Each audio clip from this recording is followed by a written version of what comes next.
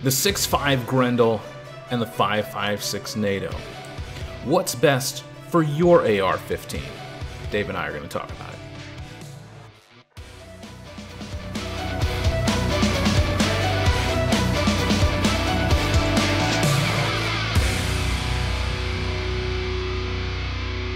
Hello, friends and lovers. This is Dave Trillo, and you're listening to the Ammunition Guide podcast brought to you by none other than ammo.com. Now, Chris, when I say the words AR 15, you're probably going to say 556 or 223. Yep. But that's not to say those are the only two interchangeable cartridges that you can uh, chamber an AR 15 for. We're going to talk about one that's, that's pretty overlooked and uh, not rightly so. It's a good round. It just hasn't gotten the love it deserves. And I'm talking about the. Uh, the Grendel. Dave, you're absolutely right. I have to agree with you that the 6.5 Grendel is one that really has not gotten the attention that it truly deserves. And if you need 5.56 or 6.5 Grendel or any cartridge, make sure you click that link down in the description in the pinned comment. Get your free $20 off coupon for here at ammo.com. But you're right, Dave. There are a lot of different cartridges that you can chamber into the AR-15. We've we've talked about some of these on the channel before, like the 300 Blackout and uh, even some of the bigger ones that we we haven't touched on yet, like the 458 SOCOM and the 50 Beowulf. Well, we'll get yeah. to those hopefully here fairly soon. But the 6.5 Grendel is a very interesting cartridge because it, it fires those really long, sleek 6.5 millimeter bullets that really got a lot of popularity with the 6.5 Creedmoor.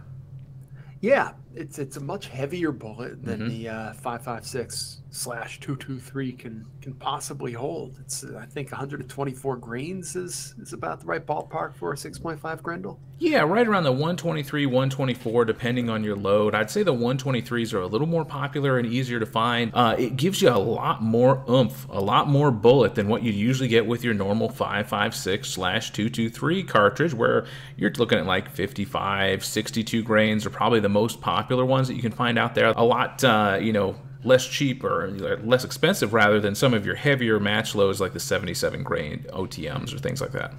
Yeah, once you get the 77 grains, you're kind of maxing out how yep. much bullet that little case can handle. But uh, yeah, double double the bullet weight yep. naturally a slower muzzle velocity to come with it, though, right?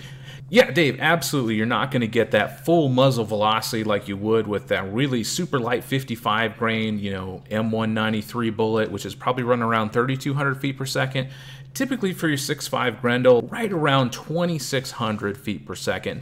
I mean, that's no slouch, but definitely the 5.56 is going to be faster and going to have a slightly flatter trajectory because of it.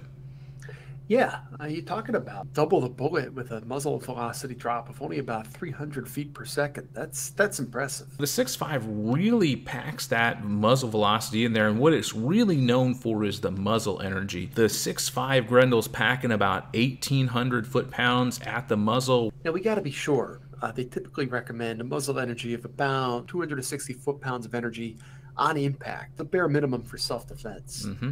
So either of these rounds at close range is going to do devastating things to the threat that means immediate harm to you and your family. Oh yeah. But a 6.5 Grendel just gives you that much more punch. It really does, and what I think the niche, in my opinion, that the 6.5 Grendel has carved out for itself is for longer range shooting and being able to maintain that kinetic energy at distance, whereas your typical 5.56 is really starting to peter off uh, you know, when you're getting closer to that four or five hundred yard line, you know, the the five Grendel's still doing it. I've got uh, right here about right around still a thousand foot pounds of energy at 400 yards for the six five Grendel, whereas you're right around under 400 for the 556 and so it, it really starts losing a lot of that oomph behind it when you get out to range but you say a thousand foot pounds and i hear the magic number for whitetail harvesting yep that's another thing that the 6.5 Grendel has really excelled at. Now, I know a lot of states don't allow the use of 5.56 or 223 ammunition for deer hunting, and there's a lot of controversy over whether you should use it, whether you shouldn't. But if you're looking at just raw foot pounds, the 6.5 Grendel is going to be your better deer hunting cartridge. So then it becomes a round that's not only good for home defense, if not massive overkill for home defense, you could take it out into the woods and bag a Bambi. And a lot of uh, you know counties and states and you know municipalities territories will allow you to use that 6.5 bullet for hunting. No different than you could with, say, like a 260 Remington or a 6.5 Creedmoor.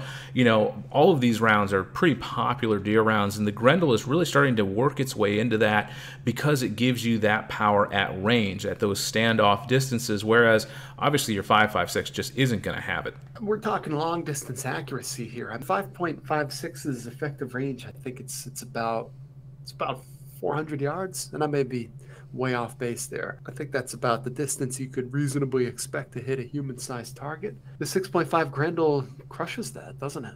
Easily. 400 yards is probably going to be the, you know, the extent of our capability with the 5.56, but with the 6.5 Grendel, you've easily got longer range than that, 6 700 yards. You know, it really has that beautiful long aerodynamic bullet that helps it get out to that range and uh, I think that's really one of the big selling points on the 6.5 Grendel. The 6.5 is really a good long range cartridge where, you know, uh, your 5.56 is light, it's easy to shoot, low recoil, but uh, yeah, the 6.5 is going to give you the range.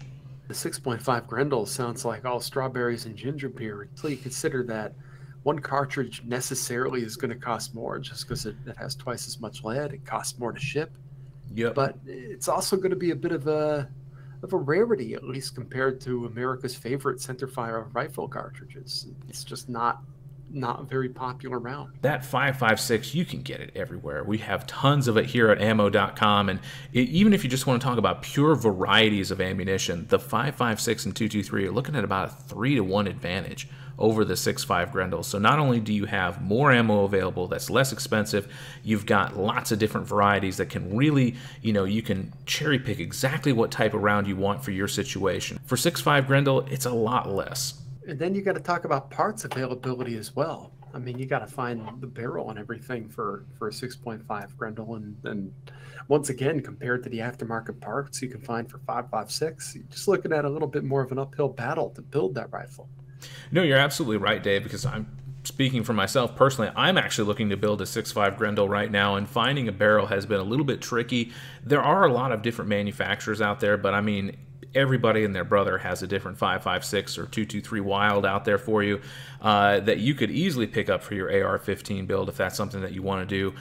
The other limiting factor when speaking of barrels with a 6.5 Grendel, you really need to be looking at a longer barrel for that these, you know, shorter like 14 and a half, 16, 18 inch barrels, it really doesn't milk the cartridge for everything that it's worth, is really what I'm trying to say here. You really need that longer barrel with the 6.5, which isn't necessarily going to be the greatest for home defense. And this is one of the main issues that I think that they've had with getting this thing widespread out there.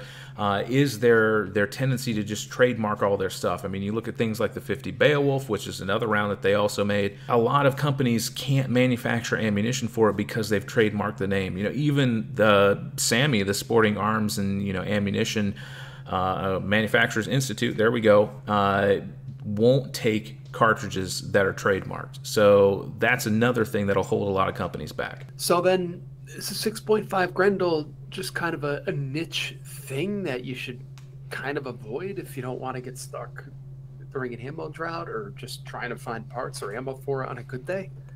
Yeah, I mean that's definitely something that you need to be a little bit concerned about is being able to find those replacement parts. Now, that being said, most shooters aren't going to be able to shoot out a barrel in their lifetime unless you're going out to the range every weekend and you are just mag dumping after mag dump.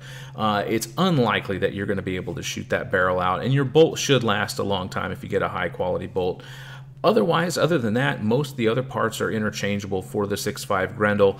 Uh, but yeah, problems is finding ammunition. If you don't have a good supplier, you don't hand load like myself or something like that, it can really be a problem just going down to the range and, you know, slinging a couple boxes, you know, down at some paper targets or a tin can at the end of your, you know, your property. Uh, it definitely makes the 5.56 the better option for most shooters because you can just go out and there's ammo everywhere. We have tons of it here at ammo.com uh, to get all your different varieties that you could ever possibly need. Whereas 6.5, it's it's a little more difficult to come by, and it kind of makes it more difficult to justify that purchase. So to that end, to the to the everyman who's just looking for their first or even second rifle, we would wholeheartedly endorse the 5.56. Absolutely, Dave. Uh, 5.56 has to be one of America's calibers. It's right up there with the 45 ACP, in my opinion, and the 30-06 uh, has been our go-to cartridge for the military for years. And, uh, you know, it's not showing any signs of slowing down. I don't care whether they're taking on the 277 Fury or not. The 5.56 is here to stay. It's not going anywhere, and you can pick it up relatively inexpensive compared to the 6.5 Grendel. Now, that being said, if you want to shoot long range or you want to hunt with it, the 6.5 is a great option, especially if you're looking for taking shots at range. Uh, if you need something that's in close and you don't really care too much about distance, the 6.8 SPC is another great option for you know an AR cartridge. But if you want that range, I think the 6.5 Grendel is the best option. Couldn't have put it better myself. Well, thank you, Dave. And you know what? No matter which cartridge you pick, guys, make sure you get all of your ammo here at ammo.com. Click that link down in the description and the pinned comment, and we will see you out on the range.